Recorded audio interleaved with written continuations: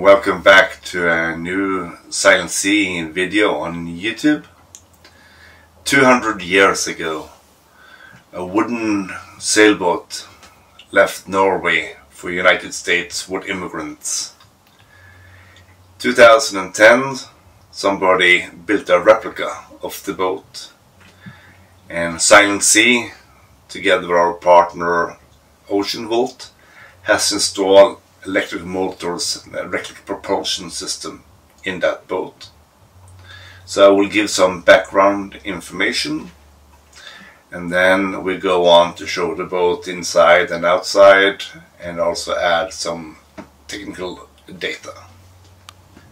Our founding fathers back in 1814 made our Declaration of Constitution and it was based on the ideas and principle from the French and American Revolution a few decades earlier.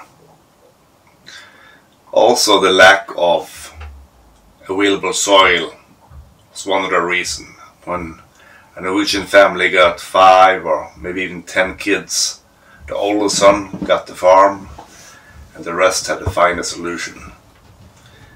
This coupled with a lack of freedom of speech and lack of religious freedom led people to look at the other side of the Atlantic. And in the end, 800,000 people left Norway.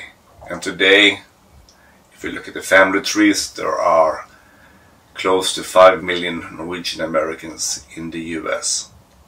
These people 200 years ago were not afraid of the sea, they were brave and they set the course out in something they didn't really know what would meet them in the other end. 4th of July, Independence Day in the United States, 1825, the boat set the course for US. It sailed to England, to Madeira, and ended up in New York City 98 days later on. There were 52 people on the boat, men, women and children. And when they arrived, there were 53 people. So they had a baby on board. And the captain was arrested because he carried too many passengers. But luckily, the American president pardoned the captain. So now, 200 years later on, 4th of July, the boat is again sailing the same route to New York.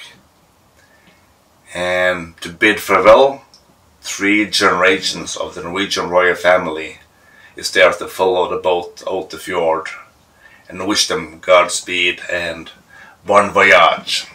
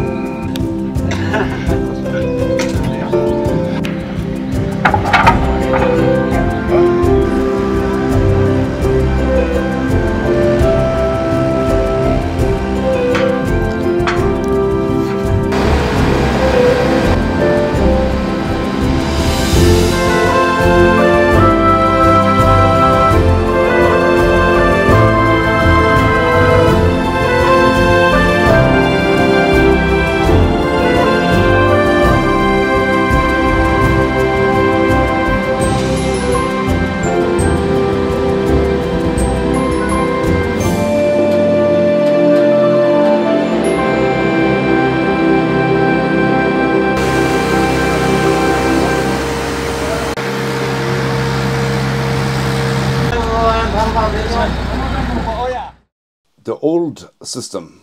So when the replica was finished in 2010, they were quite forward thinking. They actually installed electrical system that took electric motors basically from the industry with a frequency transformer. After a while, there was a limited storage capacity in the, pro, the lead acid batteries, so they pretty much used it as a diesel electric system, which means that the diesel generator always have to be on and produce power to use the electric engines.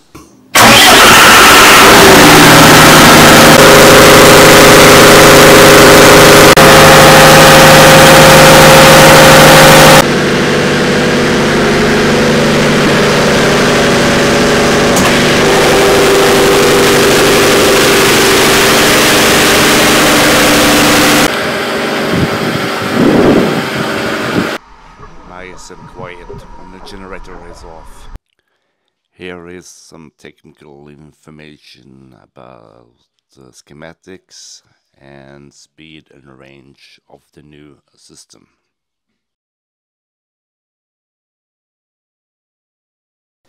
So the first thing we did was upgrade the motors to double effect, 2 times 45 kilowatt.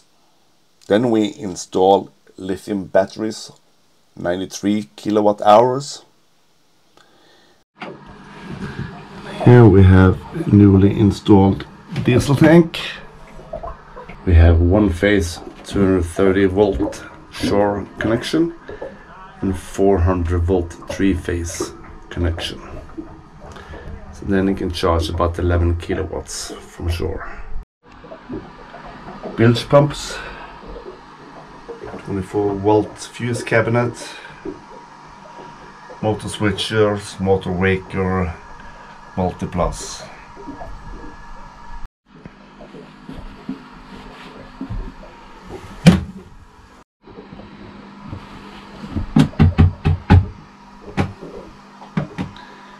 Here we have six chargers inverters,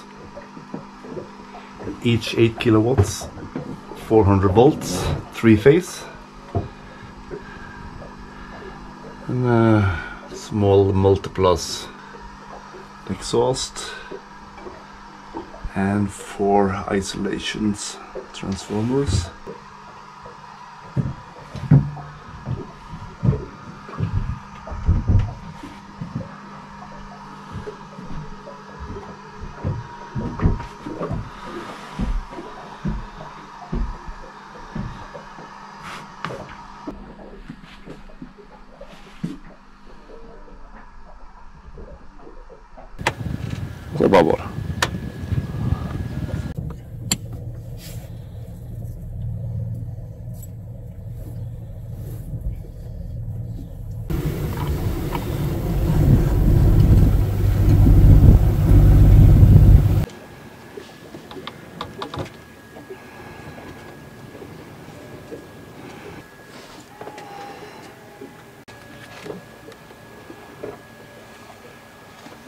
When it was a strong headwind, the boat only could move two knots. And also in a harbor, when it was tight and windy, it was quite difficult to maneuver. So we really needed to put some heavy power into the boat, torque and stopping power. So here you can see the result.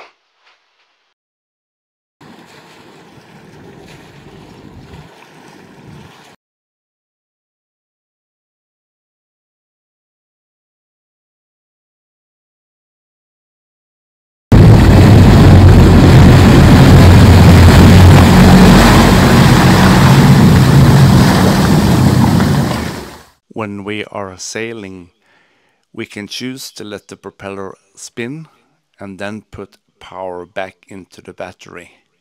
This way we can keep feeding power into the system on the boat. Now we come into the chart plotters door. There is a modern refrigerator. And then we have a gas oven for some cooking. Uh,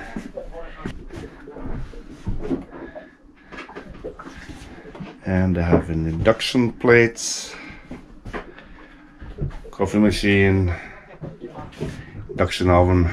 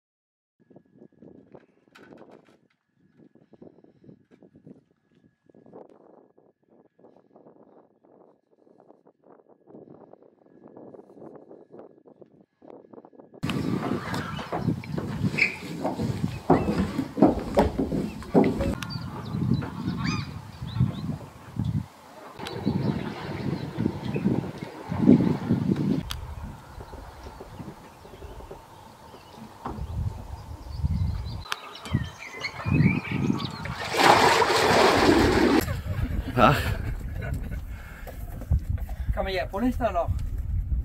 Ja da. Det er går ikke så bra i det. Må jo spørre vår herre om det. Er. Han har Han lunsj. står her, han. Ja.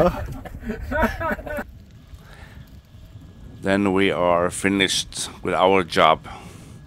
Goodbye, Restauration. Have a nice journey.